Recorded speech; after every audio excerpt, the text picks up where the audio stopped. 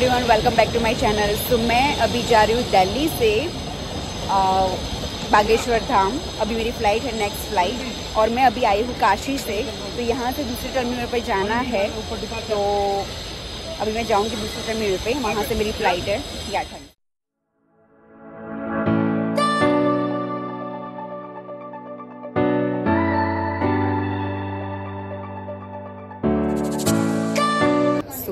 रही हो, बागेश्वर धाम तो वहाँ पे मुझे शिष्यों को यू नो कुछ गिफ्ट करना है, क्योंकि मैं हमेशा यूएस से आती हूँ तो कुछ कुछ गिफ्ट लेके आती हूँ सबके लिए तो अभी भी मुझे थोड़ा गिफ्ट करना है। वहाँ से लेके तो आई हूँ, लेकिन कुछ लोग बाकी रह गए हैं, इसलिए मैं यहाँ से देने वाली हूँ उनको।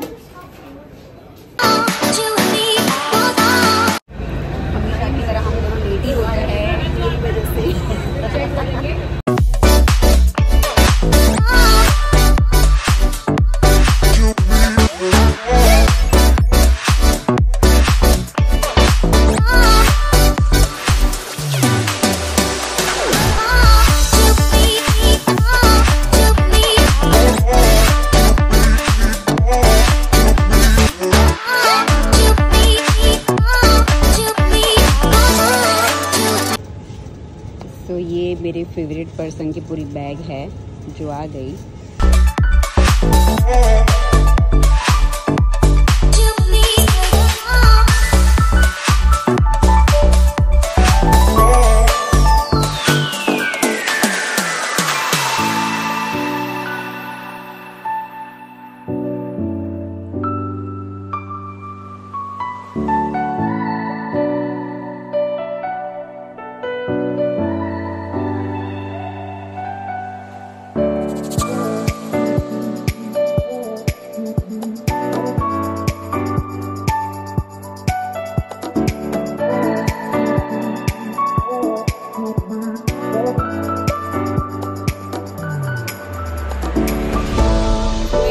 काशी थी और आज मेरे जितने भी यहाँ पे सेवक है हमारे बागेश्वर धाम के जो सब लोग बोल रहे थे कि आप कितना घूमते हो कितना घूमते हो आज मैं आ गई बागेश्वर धाम। कैसा लग रहा है? ये पहली बार आया मैंने सोचा कि मैं अपने भाई को ही लेके आऊँगी इस बार तो दर्शन भी हो जाए उसके और उसका भी अच्छा हो जाए तो हमेशा क्योंकि मेरा भाई बिज़ी है ध्रुव बिज़ी है अभी इसलिए मैंने सोचा कि मेरे छोटे भाई को लेके आती हूँ तो ये मेरा छोटा भाई है। Hi welcome to Bageshwar Dham. Sorry for this क्योंकि मैं हमेशा यही होटल में रुकती हूँ, जब से मैं बागेश्वर धाम आती हूँ, तब मैं यही होटल में रुकती हूँ। तो सारे स्टाफ मुझे पहचान गए हैं अच्छे से। सारे लोगों ने मुझे इतने अच्छे से वेलकम किया। आज मेरा फास्ट था, इसलिए मैं कुछ खाया नहीं मैंने। मॉर्निंग से सिर्फ़ पानी और चाय ही पी है तो अभी मैं दर्शन करके खाऊँगी। बागेश्वर धाम भी इतनी भीड़ है, मैं सब कुछ दिखाऊँगी, क्या है, क्या नहीं। दर्शन करने के लिए आज मेरा फास्ट था और मैंने कुछ भी खाना नहीं खाया, सुबह से सिर्फ़ चाय पी है और पानी पिया है।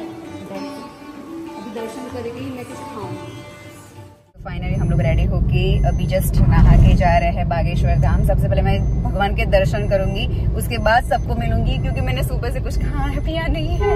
पानी पे फास्टिंग करती हूँ हमेशा और वीक में तीन चार बार तो मेरे फास्टिंग ही होते हैं, इसलिए मेरा वज़न इतना कम हो गया है ना।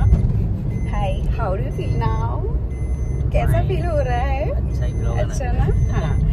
इसको गुरुजी को मिलना था। मैं तो कई बार मिल चुकी लेकिन मुझे ऐसा नहीं है। मुझे तो भगवान के दर्शन करने हैं बस। है हमारे भैया जी सीताराम।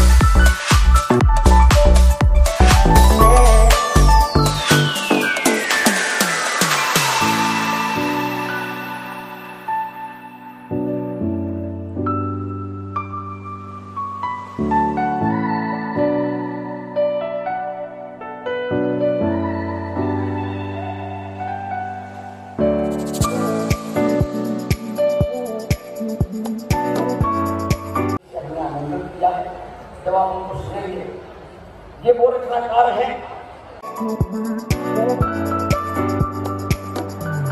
धरने से स्पंदन कैसा होता है? और सारी दुनिया बनाए या तो होकर बैठी है। वर्ष 500 बाद राम का बंधन कैसे होता? वर्ष 500 बाद राम का बंधन कैसे होता है?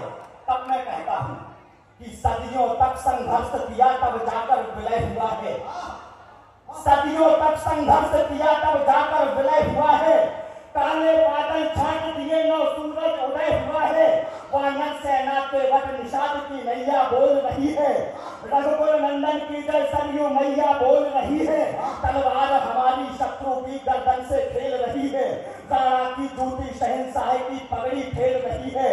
अरे भूमंडल पर एक नया विन्यास हुआ है, देखो सूरदास की आँखों में प्रकाश हुआ है, देखो। और ईट ईट पर श्री अयोध्या धाम लिखा है, देखो।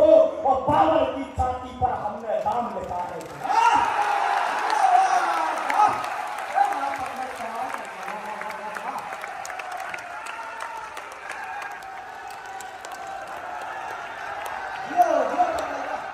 गुड मॉर्निंग कल रात को मैं चार बजे आई थी, सुबह में चार बजे। रात को नहीं बोल सकते, सुबह में ही चार बजे आए थे। सिर्फ़ दो घंटे सोई और अभी वापस मैं महायज्ञ कुंड में जा रही हूँ, क्योंकि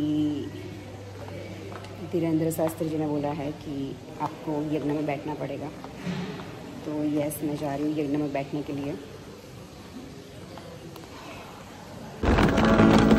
जय श्री राम, जय बागेश्वर धाम, क्योंकि मैं अभी बागेश्वर धाम हूँ तो मैं ऐसा ही बोलूँगी बागेश्वर धाम। और मैं अभी जा रही हूँ यज्ञशाला में। यज्ञशाला ना? यज्ञशाला में जा रही हूँ। शास्त्री जी ने बोला है कि वहाँ पे जाके यज्ञ करना है तो मैं आज यज्ञ में बैठने वाली हूँ। हवन करना है। हाँ सॉरी फॉर देट हवन करना है। तो अभी मैं हवन में जाके बैठूँगी। चार पाँच घंटे का हवन है। स्पेशली जो उनके बहुत क्लोज है उनके लिए ही ये। तो आज मैं जाऊँगी वहाँ पे यज्ञ करने के लिए। हवन करने के लिए। ये है मेरे भैया हाय हाय दीदी जय सिया राम। तो अभी जा रहे हैं हम धाम पहले मैं मंदिर जाऊँगी उसके बाद यज्ञशाला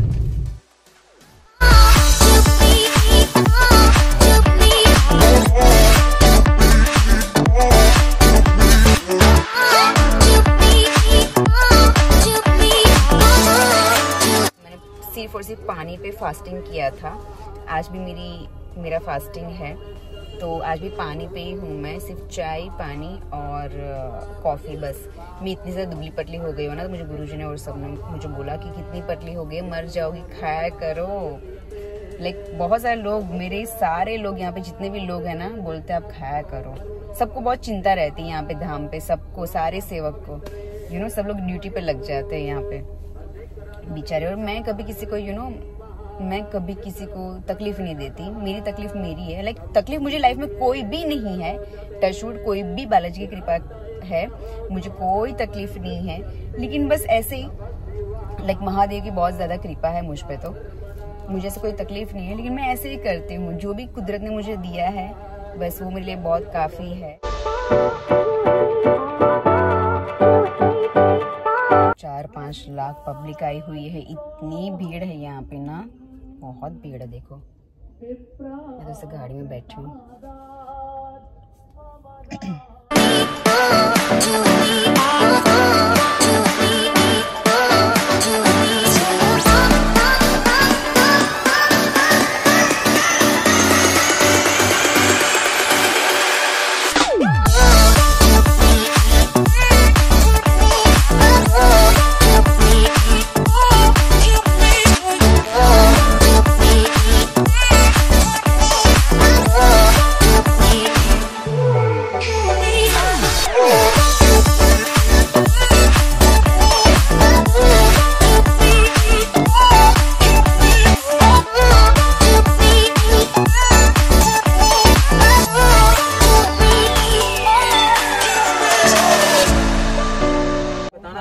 माता जी को मिलने आए हैं। माता जी के दर्शन करेंगे। वहाँ पे फ़ोन अलाउ नहीं है घर में इसलिए।